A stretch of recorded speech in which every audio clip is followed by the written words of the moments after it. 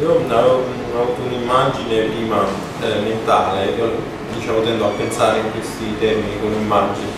E mh, avevo pensato che si poteva sintetizzare un po' questo stato eh, in un momento in cui ideale o reale che si voglia, ehm, in un momento in cui ognuno contemporaneamente pronunciava il suo nome, il suo nickname Ecco, mi sembrava che questo, questa modalità poi riuscisse un po' a sintetizzare quello che, che c'è adesso, cioè l'incapacità di dare un nome collettivo, ma un nome collettivo che poi è la confusione di un insieme di nomi in cui ciascuno potenzialmente può riconoscere l'altro, però nell'ambito di un rumore di fondo molto forte.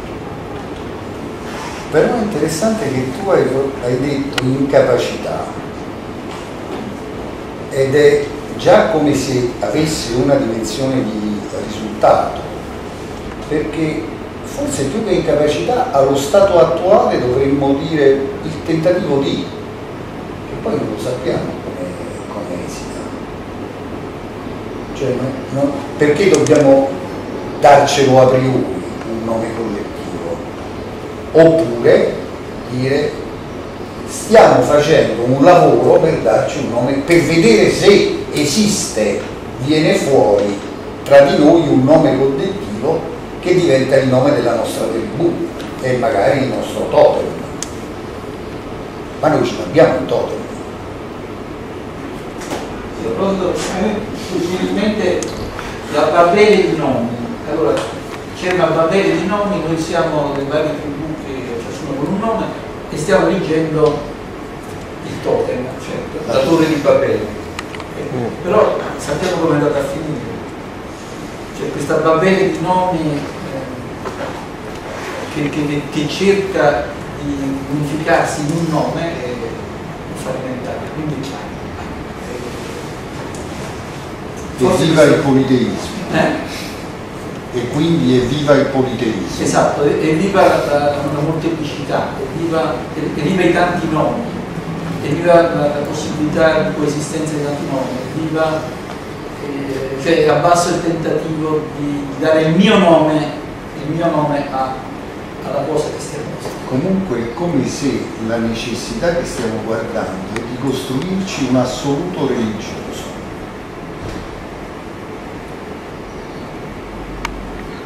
Uno deve costruirsi, costruirsi l'assoluto religioso, deve sopprimere il nome che ognuno quando viene qua dice andiamo al gruppo, al gruppo di questo, no? almeno così mi, sente di rappresentare. Quindi vorremmo Tu come ti chiami? Tu come ti chiami? Come? Tu come ti chiami? Nescio, o nessuno. La squadra mi chiamo Forse la... sopprimiamo il gruppo di Guelfo eh, e una proposta, una a caso come proposta è facciamolo diventare il gruppo di Nation va bene neppure quello, perché dobbiamo soffrire pure Mescio, dobbiamo soffrire di ciascuno di noi, a mio parere. E continuare il processo. Però rendiamoci conto che c'è un punto in cui nel sopprimere il gruppo di Guelfo la proposta è quella di, di eh, farlo diventare sì, come il gruppo di Nash. Ma io dico di no, non sono d'accordo. Non stiamo dicendo tu tu come portavoce di quello che succede nel, nel gruppo, stiamo guardando... Noi stiamo cercando di rassicurarci sul fatto che qualcuno ci ricordi e allo stesso tempo stiamo esprimendo un sentimento che fino a pochi secondi fa avevo nominato, in questo momento ho perso il nome di questo sentimento. Semplicemente lo dico. Stavo riflettendo su quanto stiamo dicendo. Prima mi era venuta in mente l'immagine del tempio di Ammon-Ra no?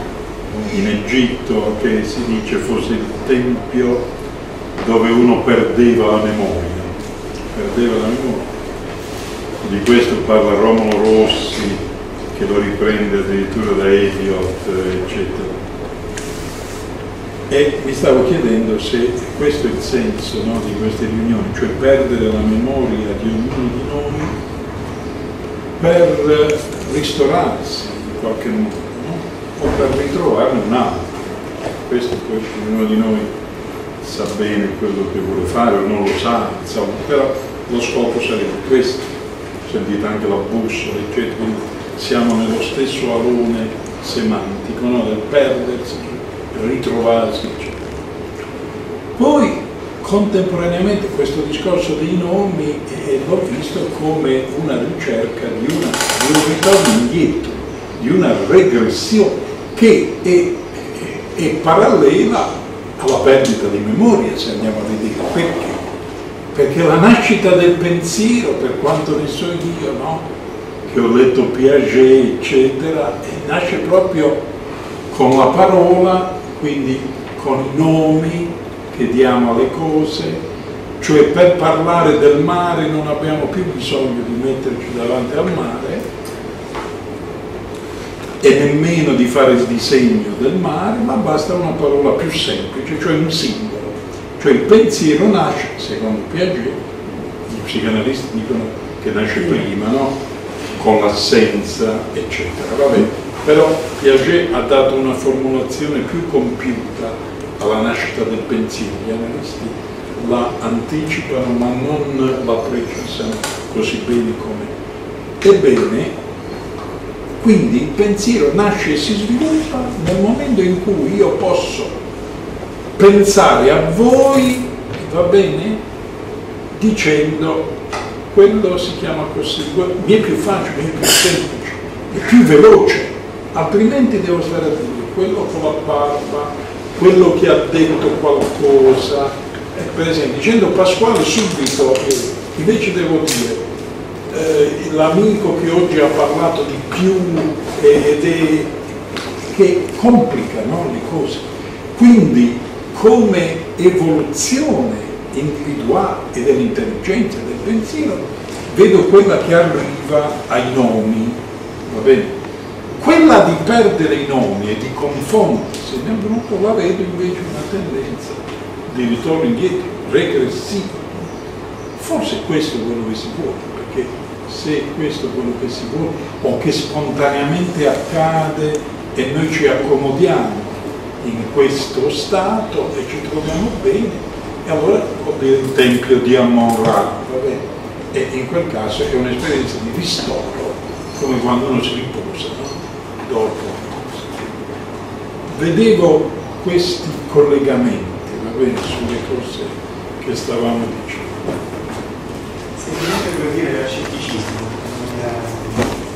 In qualche modo esprimiamo il bisogno di essere ricordati in quanto individui, tra l'altro siamo scettici che questo possa accadere. Che nella storia chi ricordiamo? Napoleone, Cristoforo Colombo, cioè chi ricorda il nome della ciurma di Cristoforo Colombo? i nomi dei marinai. Quello che rimane nella storia è da un lato il leader, dall'altro il mito, come ecco, una persona che probabilmente non è mai esistita, ma è un uomo è stato tramandato, no? come quello che ha creato. Curioso che dice che stavo pensando proprio a Cristoforo Colombo, continuavo con questa immagine marinaresca perché poi mi era venuta in mente un'espressione che è stata usata per Guelfo quando lui ha presentato un altro libro, anche oggi c'era questo libro a Roma qualche anno fa, Alessandro Bruni disse è uno psiconauta e allora pensavo noi siamo navigatori, esploratori del capitano eh, Guelfo ci porta insomma a scoprire l'Indio, l'America o chissà che. Da questo punto di vista pensavo, però insomma io vorrei essere anche quel, quel marinaio che si arrampica su una torretta più alta e se poi dico terra terra vorrei che qualcuno ti conoscesse e dicesse no, questo se ne so grande. Volevamo andare in evento e stiamo arrivando a Lampedusa.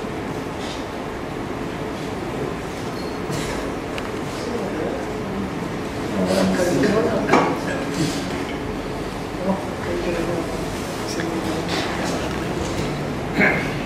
faccio parte di quel restante cosiddetto del non nome.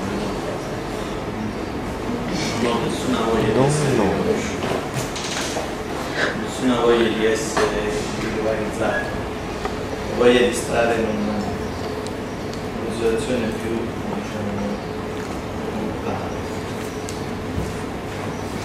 che individuale. E mi è piaciuto molto le cose che stanno uscendo, hanno tirato fuori anche una certa fatica con cui hanno entrato stamani.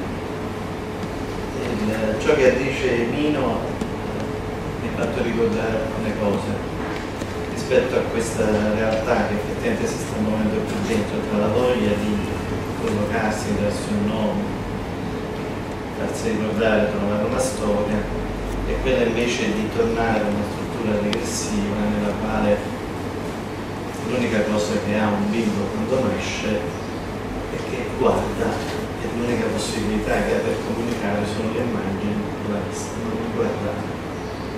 Quindi va bene quello con la barba, va bene quello con la camicia, eccetera. E questa cosa la collego molto nel qui e l'ora, perché stamattina nel corridoio ci siamo incrociati io, non ricordo e, e ci siamo salutati e lui veniva lui. Io poi l'ho seguito con lo sguardo e ho visto che sbagliava strada. È andato oltre la porta e se n'è andato dall'altra parte. Io lo volevo chiamare. Ci voglio vedere dove vuole arrivare. E due mi chiedevo, probabilmente, deve fare un'altra cosa. Però l'ho osservato, finché poi l'ho visto titubante, perso, si è voltato e ho detto no, guarda, non è lì. E non mi ricordo manco cosa mi ha risposto. Dice, e c'era un discorso di una memoria, lui aveva perso il luogo dove era tutto. Per cui io poi glielo ho indicato, lui è entrato. E nel discorso dei nomi, e quindi si ripropone il concetto del luogo, per me questo è il luogo è caro, affezionato, se devo dare il nome, è il luogo che si chiama Tonino, che così si chiama questo luogo, e perché Tonino era una persona che si arrabbiava tantissimo se qualcuno gli faceva gli auguri di compleanno, si imbestialiva in un modo feroce, diceva che quel giorno non era il suo compleanno, lui è nato tale giorno di tale anno, gli anni successivi erano altra cosa. Per lui il tempo era eh, lineare, non era circolare, quindi non era compleanno. Nessuno si doveva permettere di famiglia, se si incazzava veramente non andava a famiglia. Mentre sull'onomastico era propenso, sempre con la sua modalità, a riconoscere, ad un riconoscimento. Quindi come nome anagrafico, come diciamo, dice Tonino sì, sono io Tonino, è vero, se mi fai gli auguri di compleanno siamo sconso, era questo il senso del discorso perché io non sono nato oggi. E quindi questo... Ma lui non era nato realmente perché era un altro giorno, lui diceva sempre che era nato il venerdì 17 novembre, ma era stato eh, 18. Che magari aveva anche un altro nome. Eh, questo non- Questo è il punto, là di questa precisazione, la questione nome. Perché io mi Difficile sono- definirsi. Eh, mi sono ritrovato con questo dualismo che, che Guelfo appunto sottolineava, con desiderio di un non nome e con la consapevolezza che poi qualcosa che mi,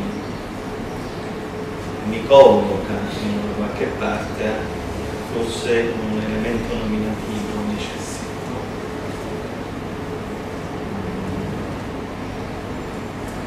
E quindi lo vado a cercare nel luogo il luogo gli corrisponde a un gruppo.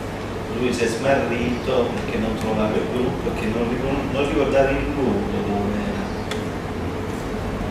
dove il gruppo in qualche modo riunito, no?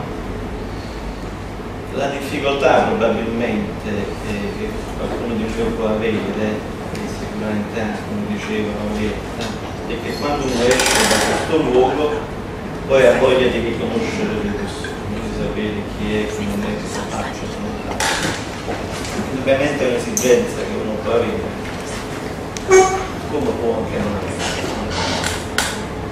Credo che eh, per quanto mi riguarda tutto è qua. E quello che accade qui me lo prendo per me e me lo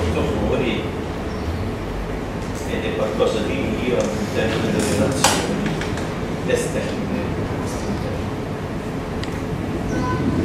Tu dici tu- tutto il qua, io, io ti ho risposto, ti ringrazio della, della guida, della bussola dato. Per- Per fare lo spiritoso, detto, mi sto dirigendo verso il deposito, infatti c'è una stanza su- sulla quale c'è un'etichetta, il deposito. E allora minimamente venuto in mente che io stavo andando in un deposito. E, e, e fulmineamente mi sono apparse due, due immagini del deposito, una positiva e una negativa, una proprio psicanalitica, cioè il deposito del rimorso, il deposito degli affetti, il deposito delle pulsioni, cioè tutto quello che ha a che fare con le cose di cui stiamo parlando.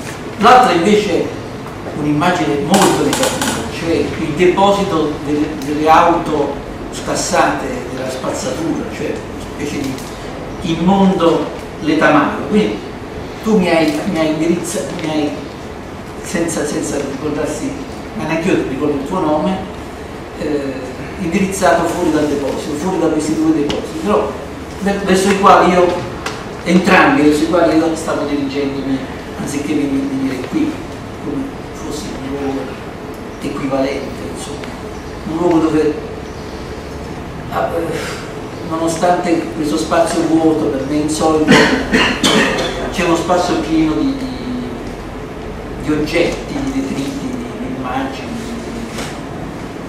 di, residui.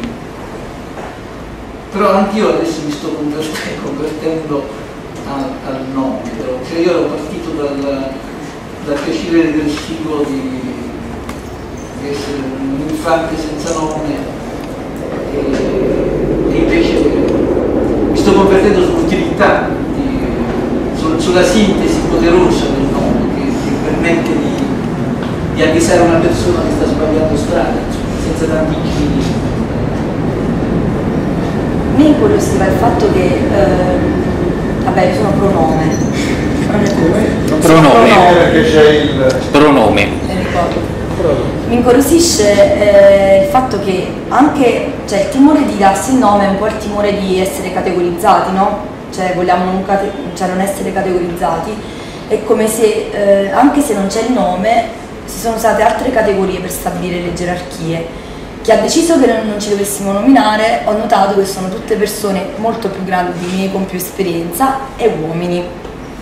Quando poi invece la voce del nome era soprattutto una voce femminile, una vo- eh, ne ha parlato lei. Eh, Orietta. Orietta. E quindi ho deciso di dire che mi chiamo Maria Pina e di dire il mio nome perché voglio sovvertire questa voce gerarchica. Subito, allora. no, Certo di appello. devo dire che io parto da, volevo molto leggere il Tomo Vado eh, perché io invece avevo letto che il nostro tema di oggi era la nostra storia di istituzionalizzazione. Se c'è anche, quindi tu dicevo no, ma è più il gruppo nascente, vabbè, quindi però proprio scusa, me lo leggi. La costruzione della nostra storia istituzionale, Ah. stato nascente. Benissimo, io stato nascente era proprio dato da mezzo e quindi ho detto vabbè la storia istituzionale adesso siamo per separarci, quindi no, mm, ci sarà qualcosa rispetto a tutto questa situazione. Però detto questo, eh, mi ricordavo una, mm, pensavo bisogna dire a chi si vuole dare il nome, perché c'era eh, questo gruppo in un luogo che è un dipartimento, non a caso non lo nomino proprio più, diciamo, un dipartimento con degli addetti ai lavori psicologi e questo gruppo eh, doveva studiare e, e anche fare un'operazione di quasi etichettatura delle psicoterapie nei servizi pubblici. Allora, al primo incontro un nostro collega subito disse, ma guardate, io mi dissento da queste operazioni E, e lo dico con una sola cosa, eh, credo Eraclito disse gli uomini sono stupidi perché pretendono di dare il nome alle cose. E Pantarelli, eccetera, eccetera. E allora noi dicevano subito, ah sì, ha ragione, le sue negozi culturali ci dicono di etichettare la psicoterapia, eccetera. E poi invece arrivarono sette anni, diciamo, questo gruppo. Eh, però poi eh, credo che mi viene a mente questa, questa cosa, perché appunto eh, a chi si dà il nome, no? Entità? Quindi un pochino, diciamo, quello forse che e poi eh, tu dicevi io sono pronome, no? Sono pronome quindi io posso eh, etichettare la persona eh, in un concreto con altro e garantire una sfaccettatura dal nickname al pronome a che ne so, altro. Eh, e quindi naturalmente è chiaro che poi si può oscillare, no? E pensavo anche a Lampedusa è stata nominata e c'è stato questo incontro molto interessante, devo dire, con Roberto Beneduce e Guelfo Margherita eh, su, sul tema degli immigrati. E Roberto Beneduce ha scritto un libro sulla tortura, ha studiato durante la tortura e, e le persone come noi le accogliamo, no? questi immigrati eccetera, e lui diceva che per esempio viene sentito come un grande ostacolo il fatto che queste persone si danno molti nomi, eh, cambiano continuamente, quindi no, noi lo vedevamo come una difficoltà e può essere una difficoltà. E invece chi poi fa i colloqui, sta a contatto eh, e garantisce le relazioni con queste persone si deve anche molto abituare a questo, che un loro costume addirittura di sopravvivenza cioè il nome diventa pericolosissimo. Anche la protezione per è una difesa. Una difesa. No, io vedevo eh, diversi correlati, no? cioè, è un'immagine che mi porto dall'inizio del, del, del, del gruppo di oggi, no? Eh, nel vedere diversi correlati eh, che sono diciamo così, di, di, di, cose che sono emerse con quello che può essere un, un, un rapporto d'amore fra due persone. No? E cioè nel rapporto d'amore fra due persone sappiamo benissimo che c'è un processo fusionale, no? eh, oggi si è parlato anche di, no, di fusionalità, di fusione, eh, in cui ognuno eh, dei due eh, diciamo così, partecipanti a questo rapporto d'amore perde la propria individualità no? per confondersi nel, eh, nell'altro, eh, pur mantenendo poi per certi altri aspetti una propria individualità. E, e quindi nel momento che cede la propria individualità la mantiene per altri versi, insomma, questo è è un rapporto in cui eh, magari quando è molto intenso si perde anche la bussola, no? eh, o non ci si chiama più per nome, no? e, e, quindi eh, facevo questi diversi eh, collegamenti no? per dire eh, come, come eh, magari in un gruppo si possono trovare anche di, di, di, questi aspetti secondo, secondo me insomma. e ripeto è un e un, eh, questi correlati che sono tendenziali da che è iniziato il gruppo insomma, e, e, ci trovo una, una, certa assonanza con, con, il nostro gruppo insomma, cerchiamo di evitare quello che successe una volta quando dopo l'uscita del libro di Foucault le parole le cose io chiesi a un amico che l'aveva detto che te ne fai? disse più parole che cose disse questo qua Dico, non vorrei che noi stessimo facendo la stessa cosa, cioè girando attorno no? sempre l'argomento, avanti e dietro, no? lo diamo il nome o non lo diamo. Io commuterei questo discorso dicendo vogliamo fare un'esperienza smemorante oppure no. Se vogliamo fare un'esperienza smemorante, aboliamo i nomi dimentichiamo chi siamo, eccetera, e vediamo come interagiamo. Cioè ognuno di voi diventa quello che dice qualcosa, quello che interagisce, quello che sorride, quello che piange, eccetera, eccetera. Cioè perdiamo quello che nel nome, nel titolo, nella, nelle cose, non so, anche nel come vestiamo, ecco, abbiamo di culturale e ritorniamo, vabbè, allo stato nascente, quindi va bene il discorso seminariale, allo stato nascente. Io proporrei proprio di dire così, voglio, voglio fare un'esperienza smemorante, e non, piuttosto che dire voglio il nome o non lo voglio. Cioè vorrei tradurre, perché temo che ci disperdiamo